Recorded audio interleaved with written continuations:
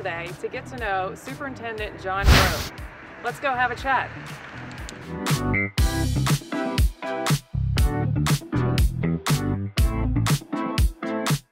Hey John, nice to see you today. You too.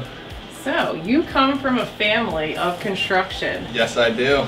So, 10 years with Paul Risk. What made you become a part of this family? Well, I wanted to stay busy, and you guys definitely do that for me. So, outside of work, I know you keep busy. So, talk to us a little bit about those hobbies. Well, I definitely like fishing. A lot of you know.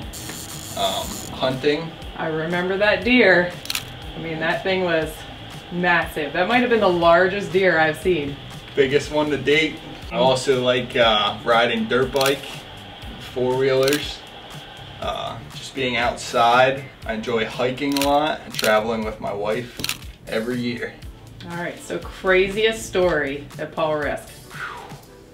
Well, I'd say there's probably a lot of them over the about 10 years I've been here. One that comes to mind, we had a specialty contractor break a larger copper water line in an attic uh, above a occupied nursing home. So that took a little bit to take care of and finish out the day. I'm sure that was a rough day. So, but thank you for handling that. Absolutely. So, if you weren't working at Paul Risk, what do you think you'd be doing?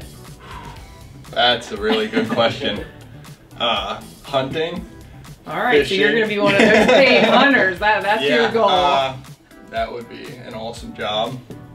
One that could compete with uh, my employment at Paul Risk. so, well, I hope that offer doesn't come on the table because we certainly love having you as part of the family. I love being here. It is a great job to have, and I plan on being here for a while. Awesome. That's what we like to hear. So, well, thanks, John. Thank you.